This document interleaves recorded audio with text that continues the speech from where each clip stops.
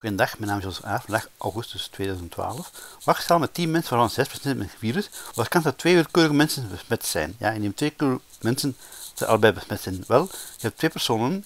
Eerste persoon besmet kans is 10, 6 op 10. Tweede persoon, er zijn nog 9 over selecteren. Daarvan zijn er dan 5 besmet. Er zijn niet weggevallen, dus er blijven nog 5 over. Dit is de oplossing dus. 6 x 5 zit op 10 x 9. Je kunt vereenvoudigen. 5 wordt 2 en 6 wordt 2 derde.